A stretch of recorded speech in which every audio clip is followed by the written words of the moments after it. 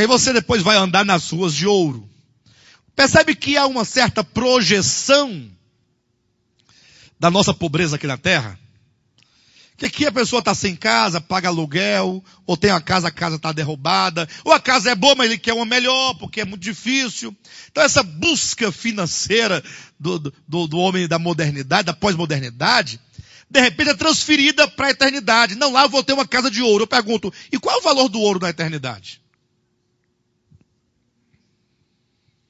O ouro serve para quê na eternidade? Você tem a vida eterna?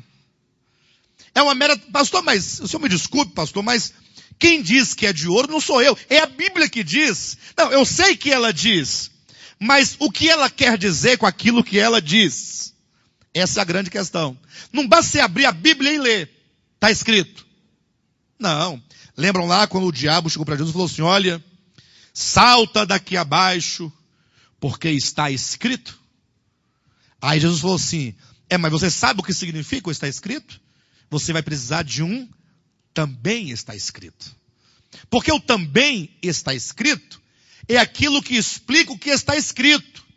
Então, quando Cristo disse, também está escrito, não tentarás o Senhor teu Deus, ele quer dizer que quando diz, aos teus anjos dará ordem a teu respeito, para te sustentarem, para que não tropece em nenhuma pedra, quer dizer, caso você tropeçar, ele enviará os seus anjos.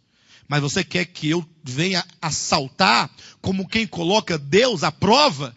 Isso é tentar a Deus e não foi isso que Deus quis dizer quando disse essas palavras do Salmo 91. Então imagine só a Nova Jerusalém, capítulo 21, versículo 9.